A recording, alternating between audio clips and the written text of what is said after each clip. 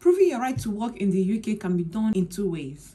One is providing your documents to the company or to your employer, and two is by providing your share code. In this video, I'm going to tell you guys how to do both.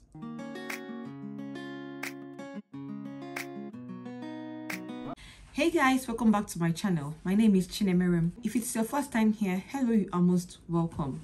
Please do well to like this video, share and subscribe to my channel. And if you are a returning subscriber, you are amazing. Thank you for coming back. So like I said, I'm going to tell you guys how to prove your right to work in the UK. First of all, by telling you the documents you would need. Secondly, is by showing you how to provide your share code to your employer so they can do the necessary checks and be sure you are here to work legally. No employer will employ you in the UK if you don't give them enough proof that you are legal and you can work legally.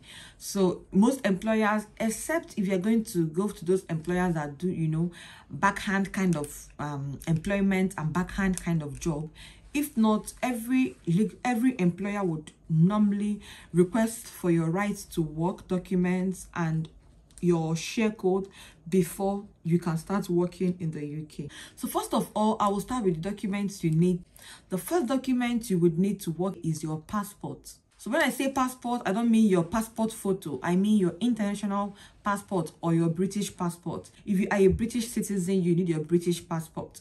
And if you are here on a permit, whether study or work, you would need your international passport. You may need your permanent residence card if you are a citizen or if you are a family member of a national of an EEA country or Switzerland.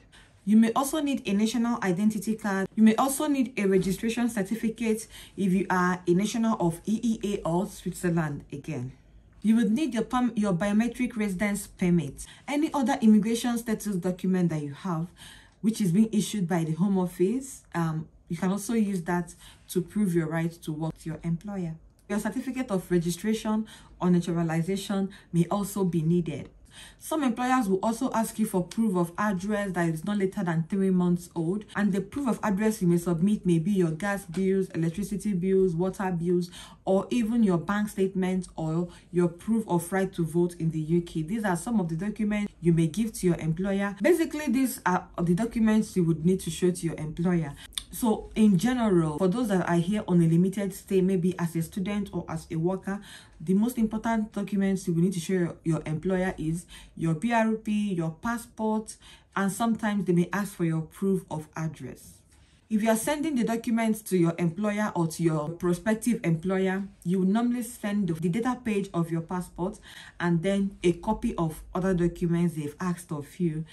And if you are giving it to them, if you're going to them to give it to them you should make a photocopy of them. You should never give them your original document. Some may also ask you for birth certificate but it depends. So you should never give them original copy. You should always give them a photocopy of this document. You can get a share code online.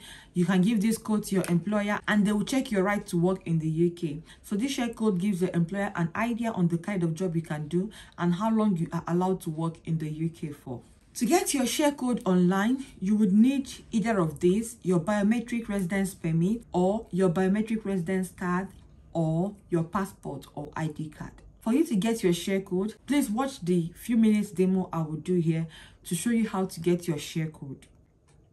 This share code is what you will give to your employer to check your right to work in the UK. So in these few minutes, I'll just show you how to get your share code. Just go on google.com and search get share code UK. You will see all of that. Then you can read all of this, view and prove your immigration status, get a share code. So this service is not just for getting a share code, but you can also use it to do other things like updating your details in your UK visas and immigration account and, you know, um, changing your number or finding out the kind of benefits you are allowed or entitled to in the UK. On who can use this service? You can only use this service if you have a UKVI account. And you normally have a UKVI account if you apply to the EU settlement scheme. And if you applied for a visa and use the UK immigration ID check app.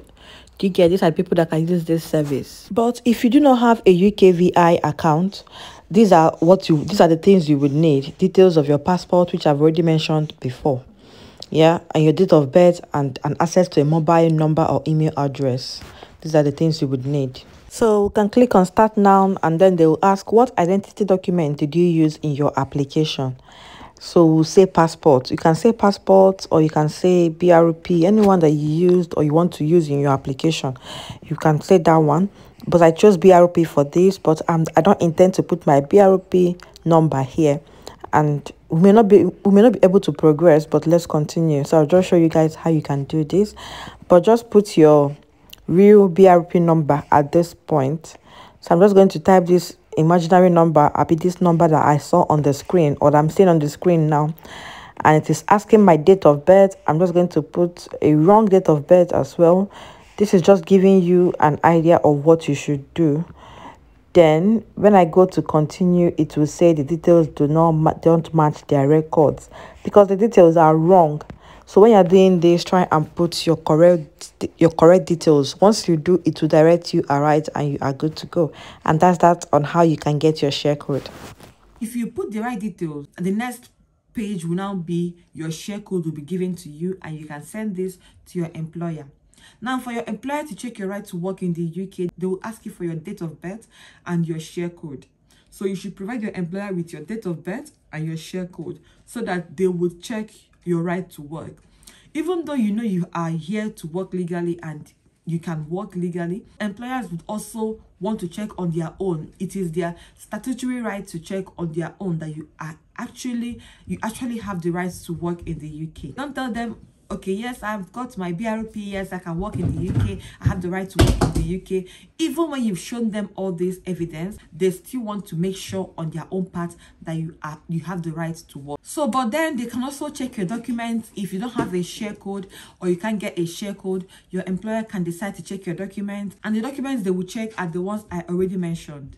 So you guys i hope this video helps. Yeah so this is how to check your right to work and this is how your employer will check if you are if you have the right to work in the UK and other things in between.